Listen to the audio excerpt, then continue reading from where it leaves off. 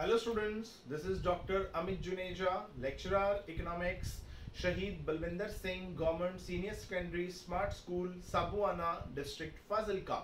And I welcome you all in this channel, Amit Juneja Economics. So in this lecture, we will discuss about the three stages of law of variable proportion जो हमने अपने last lecture में किया था। मैंने अपना last lecture यहाँ पर आकर खत्म किया था, जिसमें मैंने ये कहा था कि जो भी आपके ट्रेंड्स होंगे मार्जिनल प्रोडक्शन के अंदर, वो तीन तरह के होंगे। पहले जो वेरिएबल फैक्टर होगा, उसकी मार्जिनल प्रोडक्टिविटी जो है, वो राइज करेगी। One two three four then वो फॉल करेगी। क्यों फॉल करेगी? जब आप एक आइडियल फैक्टर रेशो क्रॉस कर जाएँगे, उसके बाद जिस रेशो के अंदर वो आपके वेरिएबल और फिक्स फैक्टर काम कर रहे हैं, वो रेशो आइडियल नहीं रहेगी तो अब आपको क्या करना पड़ेगा? अब आपको पहले से ज़्यादा फैक्टर लगाने का फ़ायदा नहीं होगा। क्यों? क्योंकि हर एक अगला फैक्टर आपको पिछले से कम काम करके देगा तो इसको हम डिक्रीजिंग रिटर्न्स जो हैं वो बोल देंगे। उसके बाद क्या होगा? नेगेटिव रिटर्न जो है, वो स्टार्ट हो जाएँगे। ओके अब हम इसी के बेसिस पे टोटल प्रोडक्शन और एवरेज प्रोडक्शन जो है, उसको कैलकुलेट करते हैं। तो for increasing return we are using the blue pen okay so देखिए कि फ़र्स्ट लिबरल आया, उसने आपको वन यूनिट की प्रोडक्शन करके दी तो टोटल प्रोडक्शन वन सेकंड की मार्जिनल टू है। अब मार्जिनल याद रखिएगा कि मार्जिनल क्या है? It is the change in total मतलब अब मार्जिनल अगर टू है तो हमने टोटल में टू का चेंज प्रोड्यूस करना है। तो वन तो ऑलरेडी है टू का चेंज होगा तो कितना आ जाएगा यहाँ पे? Three next marginal is three now the change in total will be three तो अब थ्री ऑलरेडी है थ्री का चेंज प्रोड्यूस करेंगे तो कितना हो जाएगा? Six now marginal is four it mean अब टोटल में कितना चेंज प्रोड्यूस करना है? फोर तो सिक्स ऑलरेडी है तो कितना आ जाएगा? टेन. तो अब अगर मार्जिनल इंक्रीज हो रहा है तो क्या होगा? अब टोटल इंक्रीज होगा. पहली बात तो ये देखिए कि मार्जिनल क्या है? मार्जिनल जो है, वो टोटल में चेंज है. ये हम ऑलरेडी जब हमने रिलेशन दिखाया था टीपी और एमपी का, उसमें हमने बात की थी कि मार्जिनल जो है, वो टोटल का चेंज है. ओके अब जो चेंज है, वो पहली बात तो ये कि पॉजिटिव है. पॉजिटिव मतलब अब टोटल में चेंज पॉजिटिव नंबर में आ रहा है। चेंज पॉजिटिव में आएगा तो टोटल इंक्रीज होगा। पहले तो चेक करो टोटल इंक्रीज हो रहा है। One three six ten increase number two अब तो जो चेंज है वो इंक्रीज हो रहा है। यानी पहले वन का चेंज फिर टू का चेंज फिर थ्री का चेंज फिर फोर का चेंज यानी हर बार चेंज पहले से ज़्यादा आ रहा है। तो देखिए, पहले वन का, फिर टू का, फिर थ्री का, फिर फोर का यानी पहली बात तो ये कि टोटल इंक्रीज होगा नंबर टू टोटल हर बार पहले से ज़्यादा इंक्रीज होगा। कैसे? पहले एक इंक्रीज हुआ, फिर टू हुआ, फिर थ्री हुआ, फिर फोर हुआ। हम कहेंगे कि टोटल जो है वो क्या है? Total is increasing at the increasing rate okay तो अगर मार्जिनल कैलकुलेट करना है तो वो हमने कर लिया one two three four total calculate हो गया मार्जिनल से। अब अगर हमने एवरेज कैलकुलेट करना है, एवरेज क्या होता है? मैंने कहा था एवरेज क्या होता है? इसमें हम एवरेज प्रोडक्शन मींस कि जो भी आपकी टोटल प्रोडक्शन हुई है, हमने उसको सभी के अंदर इक्वली डिस्ट्रीब्यूट करना है। तो इक्वली डिस्ट्रीब्यूट कैसे करेंगे? देखिए वन प्रोडक्शन हो रही है, कितने लेबर हैं? वन तो सारी की सारी उसी की है। तो एवरेज कितनी हो जाएगी? वन अब थ्री यूनिट की प्रोडक्शन हो रही है। कितने लोग काम कर रहे हैं? टू तो एवरेज कितना होगा? Average is equal to total upon variable factor तो थ्री डिवाइडेड बाय टू कितना आ गया? 1.5 next six divided by three two ten divided by four it is 2.5 तो ये बन गई आपकी average production okay now it's clear तो फ़र्स्ट स्टेज आपकी कंप्लीट सेकंड स्टेज में क्या होगा? अब जो मार्जिनल है, वो कितना है? थ्री इट मीन हमने टोटल में कितना चेंज प्रोड्यूस करना है? थ्री टेन ऑलरेडी है थ्री का चेंज प्रोड्यूस किया तो थर्टीन नेक्स्ट टू का चेंज प्रोड्यूस करना है फिफ्टीन नेक्स्ट वन का चेंज प्रोड्यूस करना है सिक्सटीन नेक्स्ट ज़ीरो मतलब हमने चेंज प्रोड्यूस ही नहीं करना तो सिक्सटीन का सिक्सटीन नेक्स्ट अब अगर इसकी एवरेज निकालनी हो तो क्या करेंगे? Thirteen divided by five it is two point six 15 divided by 6 it is 2.5 16 divided by 7 it is 2.43 16 divided by 8 it is 2 okay? Now, अब देखिए, अब अगर हम थर्ड स्टेज में गए यहाँ पर तो वहाँ पर क्या हुआ? अब यहाँ पे जो आपकी मार्जिनल है, वो माइनस है। मतलब अब आपने क्या करना है? टोटल में चेंज प्रोड्यूस करना है। कितने का? माइनस वन का। तो कितना हो जाएगा? 15 अब टू माइनस में जाएँगे तो कितना आ जाएगा यहाँ पे?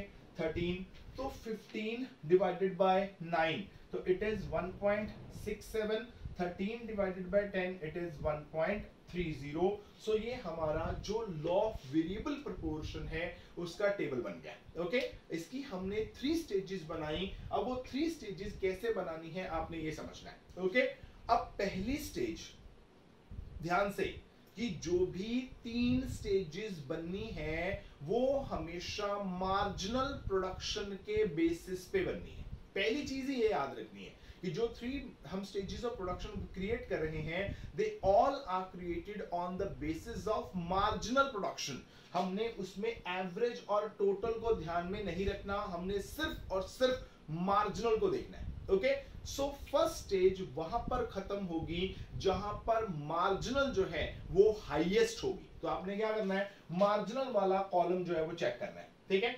One two three four three two one zero minus one minus two तो आपको मार्जिनल जहाँ पर हाईएस्ट पॉइंट पे नज़र आए, वो आपकी फ़र्स्ट स्टेज है। तो मार्जिनल हाईएस्ट है फोर यूनिट पे। तो यहाँ पर ये जो है, वो क्या है? ये आपकी फ़र्स्ट स्टेज ऑफ़ प्रोडक्शन जो है, वो हो जाती है, ठीक है? जहाँ पर मार्जिनल हाईएस्ट होगा, वहाँ पर फ़र्स्ट स्टेज जो है, वो कंप्लीट हो जाएगी। अब जहाँ पर मार्जिनल ज़ीरो होगा, वहाँ पर आपकी सेकंड खत्म। अब मार्जिनल यहाँ पे ज़ीरो है तो ये क्या हो गई? ये आपकी बन गई सेकेंड स्टेज। और जहाँ पर मार्जिन जो है, वो नेगेटिव हो जाएगा, वो बन जाएगी आपकी थर्ड स्टेज। तो ये है आपकी third stage of production okay तो हमने टोटल जो भी हमारा लॉ ऑफ़ वेरिएबल प्रोपोर्शन था, हमने उसको तीन स्टेजेस में डिवाइड कर दिया। First increasing return number two decreasing return number three negative return okay तो तीन स्टेजेस कैसे बनानी है? जहाँ पर मार्जिनल हाईएस्ट होगा, वहाँ पर फ़र्स्ट स्टेज खत्म, जहाँ पर मार्जिनल ज़ीरो होगा, वहाँ पर सेकेंड स्टेज खत्म, जहाँ पर मार्जिनल नेगेटिव होगा, वहाँ से आपकी थर्ड स्टेज शुरू।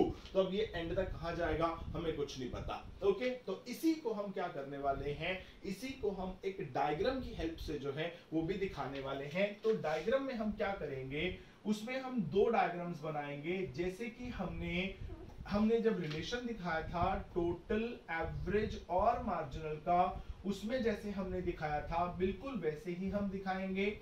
यहाँ पर हम ऊपर वाली डायग्राम में टोटल प्रोडक्शन लेंगे। क्यों लेंगे? क्योंकि देखिए टोटल और एवरेज मार्जिनल अगर एक ही डायग्राम में दिखाऊँ, मैं दिखा सकता हूँ, उसमें प्रॉब्लम नहीं है, पर इनकी वैल्यूज़ में ना डिफरेंस बहुत है। देखिए, जो टोटल है, उसकी हाईएस्ट वैल्यू 16 जा रही है। मतलब यहाँ पे मुझे 16 का स्केल लेना पड़ेगा ओके जो एवरेज और मार्जिनल है, उसकी हाईएस्ट वैल्यू 4 है। अब सोचो कि यहाँ पे मैं 16 का स्केल ले लूँ तो जो एवरेज और मार्जिनल कर्व्स हैं, वो तो सिर्फ़ फोर तक ही डिलिमिट होकर रह जाएँगे। मतलब बिल्कुल छोटी सी बनेंगी और उसमें आप रिलेशनशिप्स जो हैं, वो अच्छी तरह से नहीं दिखा पाएँगे। तो बेटर ये रहेगा कि जो हाई वैल्यू वाली डायग्राम है, वो अलग बना लीजिए। जो लोअर वैल्यू वाली डायग्राम है, उसको हम अलग से बना लेते हैं। ठीक है? तो ऊपर हम टोटल प्रोडक्शन लेंगे। यहाँ पे टोटल प्रोडक्शन हमारी मैक्सिमम जो है, वो 16 पे जा रही है। तो हम टू का स्केल ले लेते हैं। Two four six eight ten twelve fourteen और सिक्सटीन ओके इसके बिल्कुल नीचे, यानी अब ध्यान रखना कि हमने यही शो करना है कि डायग्राम हमें एक ही बनानी थी, पर due to the difference in scale we are using two different diagrams okay so इधर हम क्या करेंगे? इधर जो है, हम एक और डायग्राम बनाएँगे, यहाँ पर जिसके अंदर हम लेंगे एवरेज प्रोडक्शन और मार्जिनल प्रोडक्शन ज़ीरो आया, अब हाईएस्ट पॉइंट कितना जा रहा है? फोर क्योंकि हमने एवरेज और मार्जिनल दोनों दिखाने हैं तो दोनों का हाईएस्ट और लोएस्ट देखना पड़ेगा।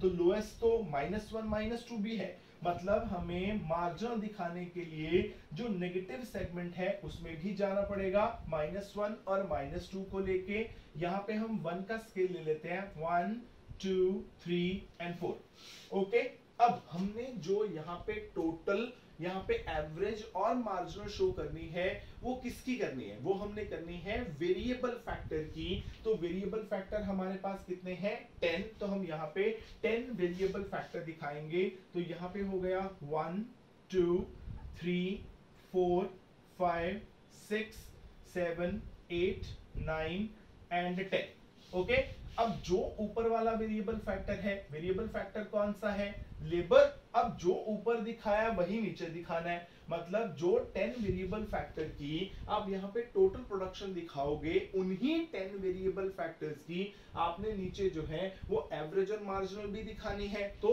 वेरिएबल फैक्टर जो है, वो पैरेलल रहना चाहिए। मतलब हमने बिल्कुल जहाँ पे ऊपर वाले डायग्राम में वन लिया था तो नीचे भी वहीं पे वन आना चाहिए। ऊपर वाली डायग्राम का सेकंड यूनिट नीचे में आना चाहिए। जो थर्ड है वो थर्ड के पैरेलल ऐसे सारे वेरिएबल फैक्टर जो हैं, वो आपने पैरेलल जो है, वो बनाने हैं। बेटर रहेगा कि आप कॉपी साथ में रखिए और डायग्राम जो है, वो मेरे साथ साथ बनाइए। तो आपको डायग्राम बनानी जो है वो इजी हो जाएगी। वैसे भी ये जो डायग्राम है, वो हम ऑलरेडी बना चुके हैं। जब हमने टोटल एवरेज और मार्जिनल का रिलेशनशिप जो है, वो शो किया था तो मैंने क्या किया? जो ऊपर वाला वेरिएबल फैक्टर है और जो नीचे वाला वेरिएबल फैक्टर है, मैंने उसको पैरल जो है वो शो कर दिया। Now we draw three type of curve total production curve average production curve and the marginal production curve okay सबसे पहले बनाते हैं टोटल तो वन पे वन तो अब सोचो कि अब मैं इसको कहाँ से शुरू करूँ? मैं इसको ज़ीरो से शुरू कर सकता हूँ। क्यों? क्योंकि सोचो अगर मैं कोई लेबरर ना लगाता, जैसे मैंने अपने लास्ट लेक्चर में एग्जांपल दिया था कि हमें प्रोडक्शन करने के लिए दोनों फैक्टर चाहिए। सिर्फ़ लैंड होगा, उससे भी कुछ नहीं होने वाला। सिर्फ़ लेबर होगा, उससे भी कुछ नहीं होने वाला। ठीक है? तो अब हम क्या करें? अगर सपोज़ करो कि आपके पास 10 एकड़ ऑफ़ लैंड होती and you don't have any labour to work on that then what will be the total production? It will be zero. So, अब यहाँ पे लेबर अगर ज़ीरो है तो टोटल प्रोडक्शन भी कितनी होगी? Okay okay? पर एवरेज और मार्जिनल ज़ीरो नहीं होंगे। ये मैंने तब क्लियर किया था जब मैंने रिलेशनशिप बताए थे। तब मैंने बताया भी था भी एवरेज और मार्जिनल ज़ीरो नहीं हो सकते। क्यों नहीं हो सकते? मैं अभी फिर से उसको रिवाइज कर दूँगा। एक बार हम टोटल की कर्व जो है वो बना लेते हैं। तो क्या होगा? फ़र्स्ट लिबरल लगाया टोटल प्रोडक्शन वन है। तो वन कहाँ पे आएगा? ज़ीरो और टू के सेंटर में, यहाँ पे। ये वन आ गया। उसके बाद टू पे थ्री तो टू पे थ्री अब थ्री कहाँ पे आने वाला है? थ्री आने वाला है टू और फोर के सेंटर में। थ्री पे सिक्स तो three variable factor and the total production is six इसके बाद वेरिएबल फैक्टर फोर तो टोटल प्रोडक्शन टेन तो फोर के ऊपर कितना आ गया? टेन देन फाइव के ऊपर थर्टीन फाइव के ऊपर थर्टीन ओके देन सिक्स के ऊपर फिफ्टीन सिक्स के ऊपर फिफ्टीन सेवन पे 16 16 is the maximum. This is 16 8 also 16 9 it's 15 again then it is 13 10 के ऊपर 30 सो so, ये जो है ये हमने जो पॉइंट्स प्लॉट किए ये दिखाएँगे आपकी टोटल प्रोडक्शन की कर्व को. अगर हम with the help of a scale इनको मिला दें तो क्या होगा? आपको यहाँ पे आपकी टोटल प्रोडक्शन की कर्व जो है, वो मिल जाएगी। ओके अब ध्यान रखना, पहली बात इसको स्केल से मिलाना है। फ्री हैंड कर्व नहीं है, ठीक है? क्यों नहीं है फ्री हैंड क्योंकि मैंने एक लेक्चर में बताया था कि हम अगर टोटल प्रोडक्शन की कर्व से चाहें तो हम मार्जिनल निकाल सकते हैं। क्यों? क्योंकि मार्जिनल क्या है? It is a change in total ना? तो वो किसके बराबर है? वो टोटल प्रोडक्शन की जो स्लोप आती है ना, उसके बराबर होता है। हम एक और लेक्चर में इसको रिवाइज भी कर लेंगे। तो इसको आप स्ट्रेट लाइन से बनाइएगा, ताकि अगर इसकी कल को स्लोप निकालनी पड़े तो अगर फ्री हैंड कर्व होगी तो आप उससे स्लोप कैलकुलेट नहीं कर पाएँगे। तो अगर स्केल स्केल्ड कर्व होगी तो आप उससे जो है, वो स्लोप आराम से कैलकुलेट कर पाएँगे। अब क्या हो रहा है? अगर हम जहाँ पे फोर्थ यूनिट तक बात करें वन टू थ्री फोर तो वन टू थ्री फोर यहाँ पे जाके जो आपकी टोटल प्रोडक्शन की कर्व है, वो हो रही है इंक्रीजिंग रेट पर इंक्रीज यानी देखो, बड़े फास्ट ऊपर जा रही है। ये मैंने अपने एक लेक्चर में बताया भी था कि अगर आपने पता लगाना है कि रेट ऑफ़ चेंज क्या है, भी रेट ऑफ़ चेंज इंक्रीजिंग है कांस्टेंट है कि डिक्रीजिंग है? तो कैसे पता लगेगा? पॉइंट ऑफ़ ओरिजिन से टेंजेंट लगाओ। अगर एवरी नेक्स्ट टेंजेंट जो है, वो पिछले वाले से ऊपर आ रहा है तो क्या होगा? रेट इंक्रीजिंग होगी। अगर टेंजेंट नीचे आना शुरू हो गया तो रेट डिक्रीजिंग हो जाएगी। तो देखिए, यहाँ पे टेंजेंट लगाऊँगा, यहाँ पे यहाँ पे और यहाँ पे। एवरी नेक्स्ट टेंजेंट ऊपर आएगा। ऊपर आएगा तो रेट ऑफ़ चेंज क्या है? इंक्रीजिंग है। वैसे भी जो टोटल के अंदर चेंज आता है वो किसके बराबर होता है? वो तो मार्जिनल के बराबर होता है। अब मार्जिनल जो है वो इंक्रीज हो रहा है। इसका मतलब टोटल इंक्रीजिंग रेट पर इंक्रीज हो रहा है। कौन से पॉइंट तक? यहाँ पे वन टू थ्री फोर मैं इसको ए पॉइंट जो है वो बोल देता हूँ। ओके ए के बाद क्या हुआ? अब देखो टोटल इंक्रीज तो हो रहा है।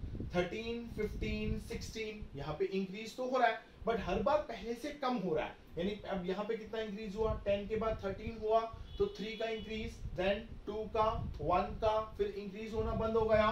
तो जहाँ पे टोटल हाईएस्ट हुआ हाईएस्ट हुआ वो जाके एट्थ यूनिट ऑफ़ प्रोडक्शन के ऊपर मैं उसको बी पॉइंट बोल देता हूँ। और उसके बाद वो नेगेटिव हो गया तो वो बाकी उसकी थ्री जो है सी बन गई।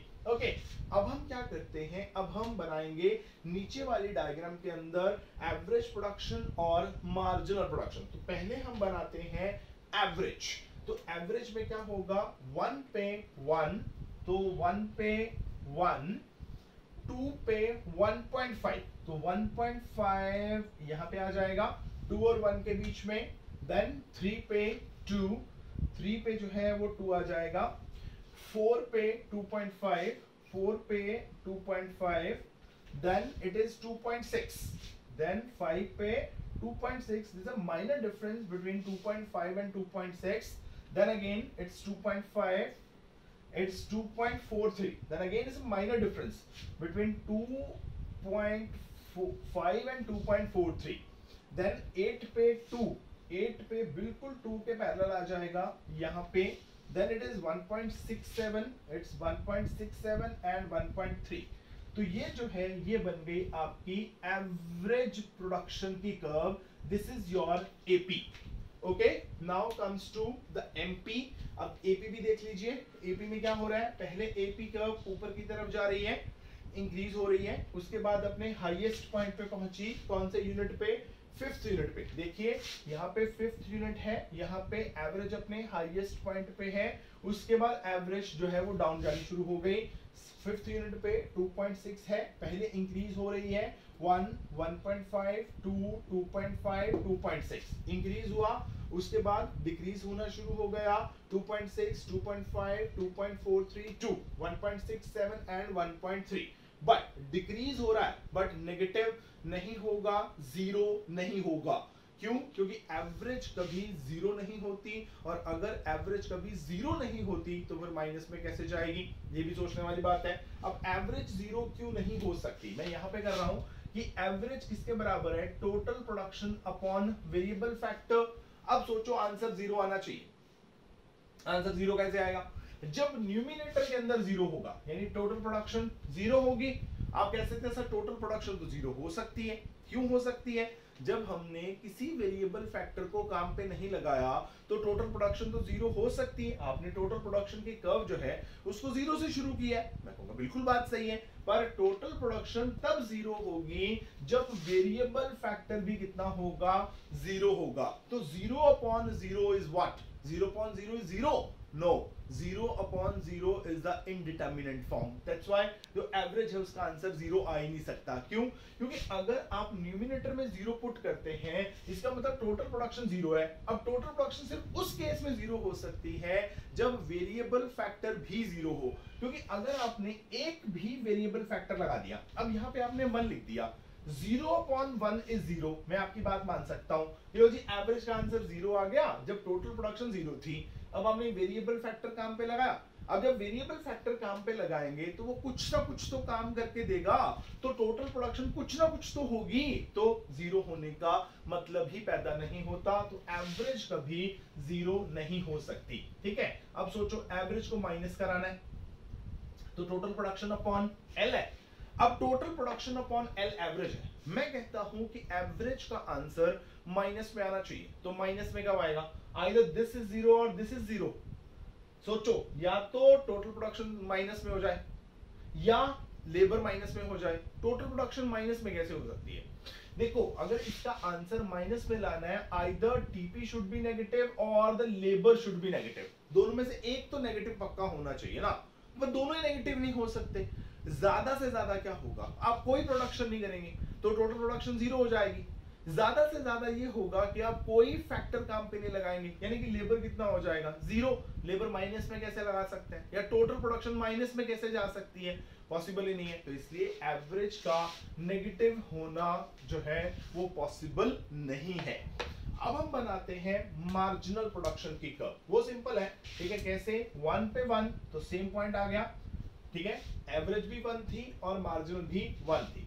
Then it is two two three three four four okay one two three four then three two one zero fifth पे थ्री सिक्स पे टू सेवेंथ पे वन एट पे ज़ीरो नाइन पे माइनस वन और टेन पे minus two so, it is like this.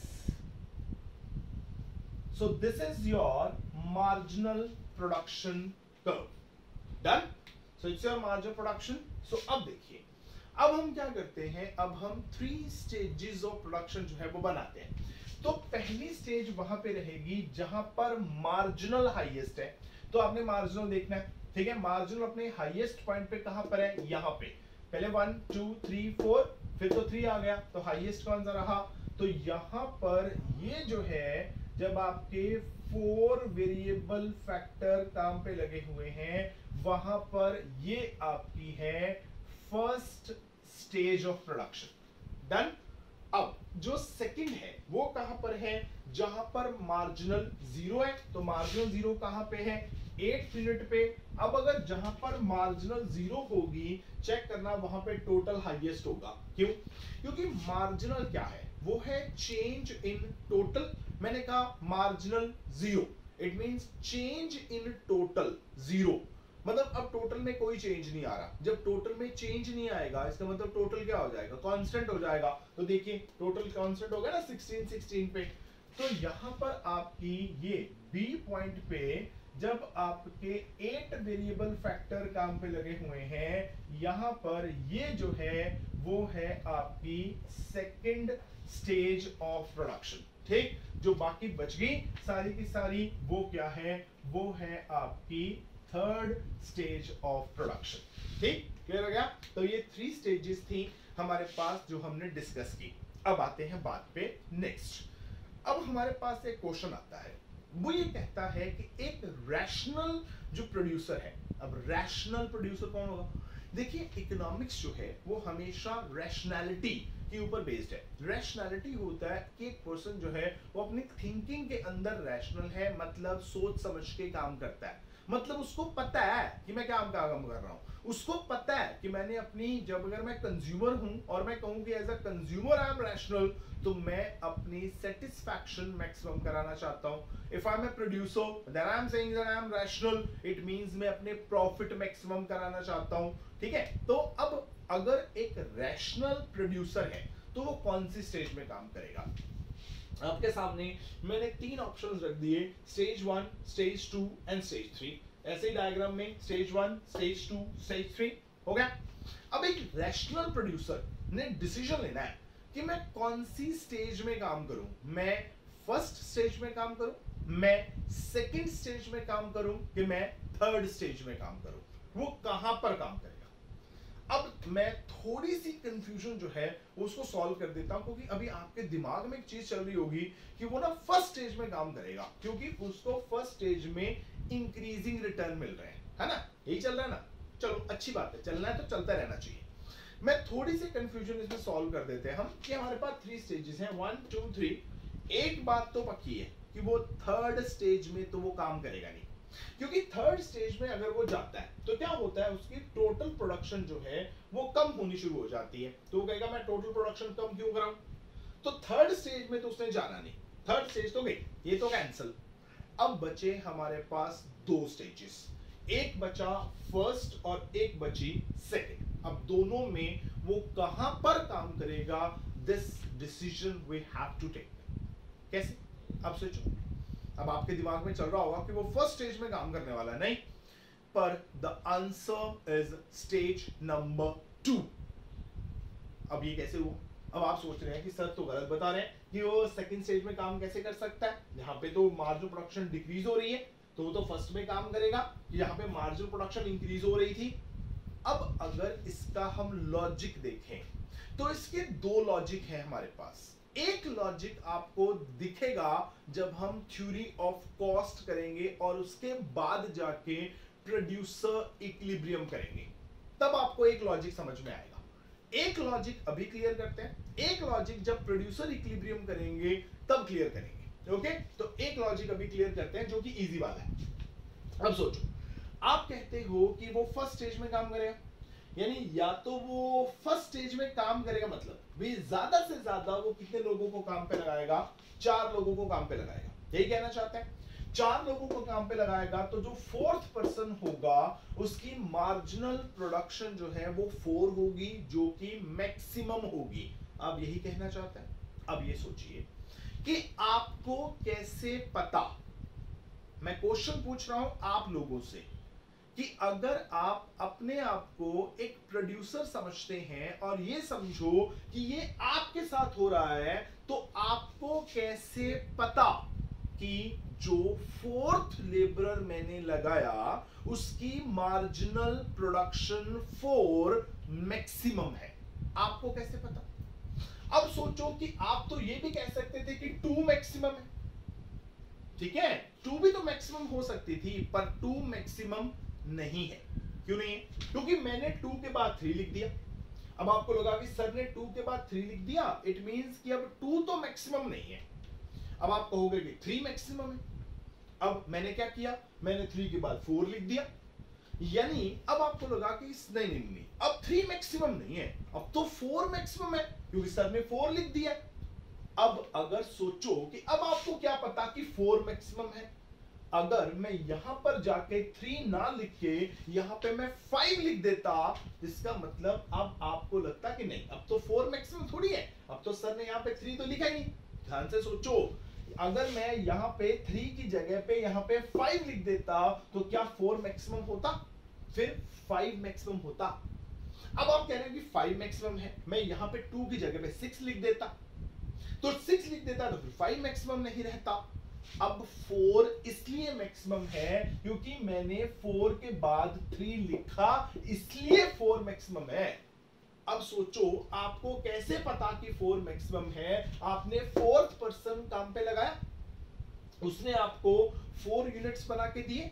जब तक आप ये फिफ्थ पर्सन काम पे नहीं लगाएँगे और वो आपको थ्री प्रोडक्शन नहीं करके देगा, तब तक आपको कैसे पता लगेगा कि पिछले वाला मैक्सिमम था? अगर अगले वाला कम काम करके देगा तो पता लगेगा कि पिछले वाला मैक्सिमम था। ठीक है? अगर अगला लगाया तो उसने यहाँ पे फाइव कर दिया होता तो फिर पिछले वाला मैक्सिमम नहीं रहता। यानी अगर आपने ये फोर मैक्सिमम पता करना है तो फिफ्थ पर्सन को काम पे लगाना पड़ेगा।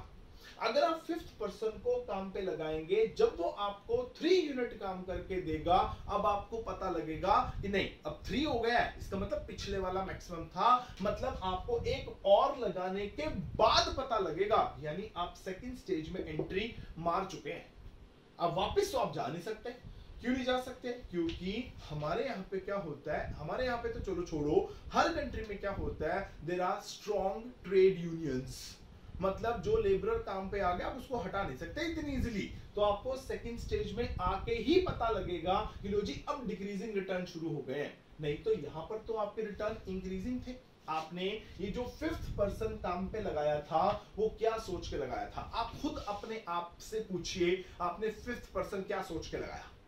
आपको लगा कि फ़र्स्ट पर्सन काम पे लगाया तो उसने वन यूनिट काम करके दिया मार्जिनल वन सेकंड लगाया तो उसने टू काम करके दिया थर्ड लगाया, उसने थ्री किया. फोर्थ लगाया, उसने फोर किया. तो क्या करो? फिफ्थ लगाओ तो वो पाँच काम करके देगा. आपने तो यही सोच के फिफ्थ पर्सन को काम पे लगाया होगा. यानी अब आपका जो पास्ट एक्सपीरियंस है, वो आपको ये बता रहा है कि जो आपके पिछले वेरिएबल फैक्टर हैं, वो आपको हर बार ज़्यादा काम करके दे रहे हैं। तो आपने फिफ्थ पर्सन यही सोच के लगाया कि अगर यहाँ पे वन टू थ्री फोर है तो यहाँ पे फाइव आएगा। पर क्या हुआ? अब फाइव जब पर्सन काम पे लगाए, अब मार्जिनल हो गया थ्री अब आपको पता लगा कि आपको जो आइडियल रेशियो था ना, आप उसको क्रॉस कर चुके हैं। मतलब आप फ़र्स्ट स्टेज निकाल चुके हैं, अब आप सेकंड स्टेज में आ गए हैं।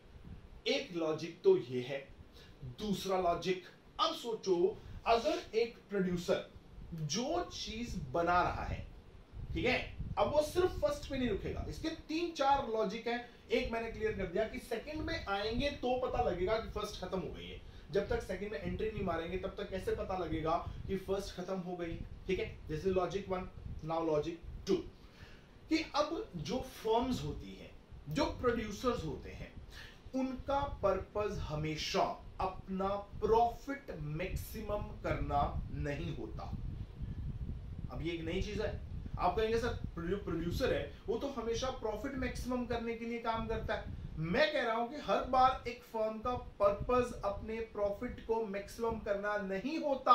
कई बार वो अपनी प्रोडक्शन को भी मैक्सिमम करना चाहते हैं। अब सोचो, यहाँ पे तो प्रोडक्शन 10 की हो रही है, यहाँ पे 16 की हो रही है।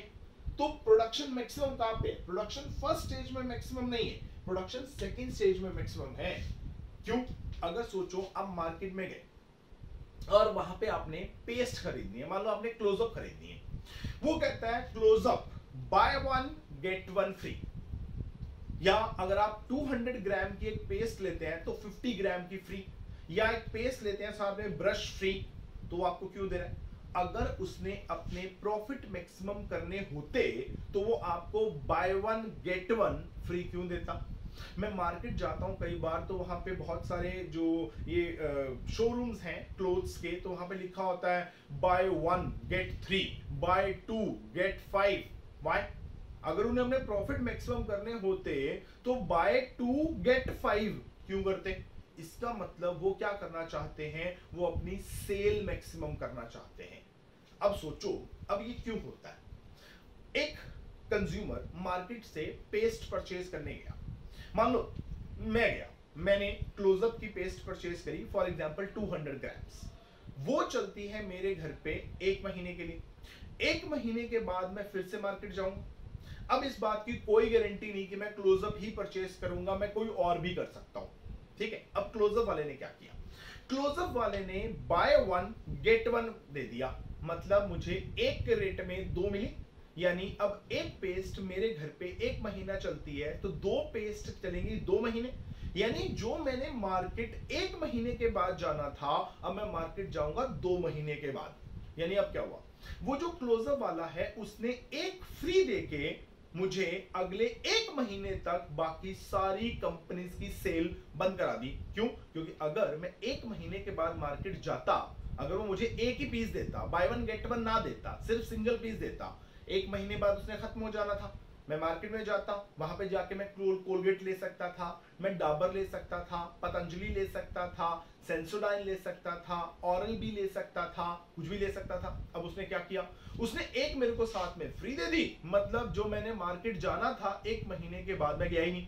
इसका मतलब अगले एक महीने तक उसने सारी कंपनीज़ की सेल बंद करा दी, सिर्फ़ अपनी सेल इंक्रीज करा के। तो वो क्या करते हैं? कई बार वो अपनी प्रोडक्शन जो है, उसको मैक्सिमम करना चाहते हैं so that they can maximise their sales as well दो लॉजिक लॉजिक नंबर थ्री कि अब क्या होगा? अब जो वो सेकंड स्टेज में काम करेगा कि फ़र्स्ट में, इस बात पे भी डिपेंड करता है कि जो चीज़ बनाई जा रही है, उसका प्राइस कितना है और कॉस्ट कितनी पड़ रही है। अब सोचो कि जो चीज़ वो बना रहा है उसका प्राइस जो है, वो हंड्रेड रुपीज़ है। ठीक है? मतलब अगर वो जो चीज़ बनाएगा, उसका रेट फिक्स हो गया कि वो हंड्रेड रुपीज़ की है। और जो उसने ये वेरिएबल फैक्टर लगाने हैं, ये सारे ये सारे, इनको भी वो पर पर्सन हंड्रेड रुपी दे रहा है। ठीक है? अब सोचो, इनके वेजेस हंड्रेड हो गए। फ़र्स्ट पर्सन काम पे लगाया, उसने एक यूनिट बना के दिया। उसको हंड्रेड रुपीज़ दिए। उसके बदले में उसको, जब उसने उस एक यूनिट को बेचा तो मिले कितने? हंड्रेड अब जब प्राइस हंड्रेड है, अब एक यूनिट बना के दे रहा है मतलब उसने सौ रुपए का काम करके दिया। उसने उसके बदले में जो वेजेस हैं, वो भी कितने लिए? सौ रुपए लिए। नो प्रॉफिट नो लॉस अगले ने टू यूनिट बना के दिए मतलब दो सौ रुपए का काम करके दिया। लिए कितने? सौ रुपए। मतलब सौ रुपए का बेनिफिट अब यहाँ पे इसने तीन सौ रुपए का काम करके दिया। तो लिए कितने? सौ रुपए। तो दो सौ रुपए का बेनिफिट यहाँ पे आप प्रॉफिट लिख लीजिए। यहाँ पे प्रॉफिट कितने? ज़ीरो यहाँ पे प्रॉफिट हंड्रेड यहाँ पे प्रॉफिट टू हंड्रेड अगला लगाया, उसने चार यूनिट बना के दिए। यानी चार सौ रुपए का काम करके दिया। लिए कितने? सौ रुपए। प्रॉफिट कितने? तीन सौ रुपए के। अगले ने तीन यूनिट बना के दिए। कितने का काम करके दिया? थ्री हंड्रेड का। लिए कितने? सौ रुपए। तो प्रॉफिट कितने? दो सौ रुपए के। अगले ने दो यूनिट बना के दिए, दो सौ रुपए का काम करके दिया, लिए कितने? सौ रुपए तो सौ रुपए का प्रॉफिट अगले ने एक यूनिट बना के दिया, सौ रुपए का काम किया, लिए कितने? सौ रुपए प्रॉफिट ज़ीरो अगले ने सौ रुपए लिए प्रॉफिट काम करके ही नहीं दिया तो यहाँ पे क्या हो गया? लॉस हो गया सौ रुपए. अब सोचो, अगर वो यहाँ पे रुक जाता आप कहते हैं कि फ़र्स्ट स्टेज में उसको रुक जाना चाहिए। अगर फ़र्स्ट स्टेज में रुकता तो कितने प्रॉफिट होते? हंड्रेड एक होते टू हंड्रेड एक होते थ्री हंड्रेड एक होते तो टोटल प्रॉफिट होते सिक्स हंड्रेड के। पर अगर वो सेकंड में एंटर कर जाए तो ये देखो यहाँ पर 200 यहाँ पे 100 ये भी तो उसके प्रॉफिट है। अगर वो यहाँ तक भी चला जाए सिक्स यूनिट तक भी चला जाए तो तीन सौ रुपए के प्रॉफिट और हो जाएँगे तो उसके प्रॉफिट 900 हो जाएँगे।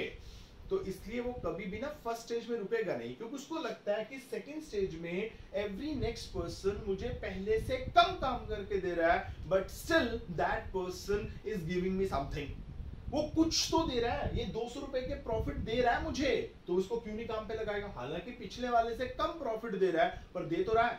तो यहाँ पे हंड्रेड के प्रॉफिट आ रहे हैं तो वो अपने प्रॉफिट भी मैक्सिमम कर सकता है कहाँ पर? सेकेंड स्टेज में जाके। So the actual stage of operation for producer is the stage number two not the stage number one okay so I think अब यहाँ पे क्लियर हो गया होगा। अब नेक्स्ट लेक्चर में हम बात करेंगे कि जो एक प्रोड्यूसर होता है, उसको फ़र्स्ट स्टेज में इंक्रीजिंग रिटर्न क्यों मिलते हैं? उसके रीजन और फिर जाके उसको डिक्रीजिंग रिटर्न क्यों मिलते हैं? उसके रीजंस और इस ये जो लॉ ऑफ़ वेरिएबल प्रोपोर्शन हमने किया, इसकी इंपॉर्टेंस क्या है? ये हमारा नेक्स्ट लेक्चर रहेगा. अब मिलते हैं अपने नेक्स्ट लेक्चर में. Till then it's goodbye from my side thank you very much